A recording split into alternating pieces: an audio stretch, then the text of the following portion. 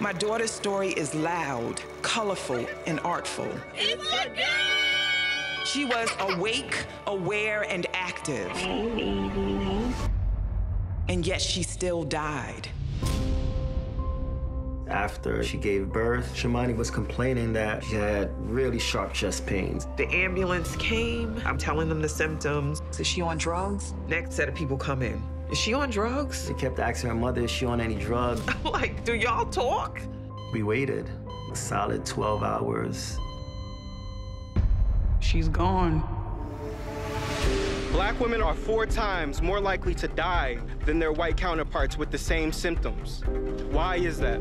This is a growing epidemic in our community. Hundreds and thousands of men are going through this same situation.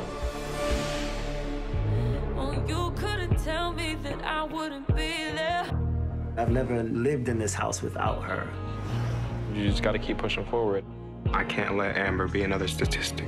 I had a plan, I had it mapped out. If these numbers were flipped around and white women were dying at the rate that black women are dying, it would be a national crisis. We fight against maternal morbidity event by event in order to create change. We could turn our pain into power and make something of this.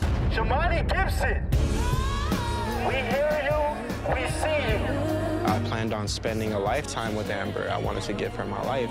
This way, I'm still going to. Sometimes change. The revolution will be tweeted, Instagram, Facebook. This fight is not over. When black mothers die, there's a ripple effect.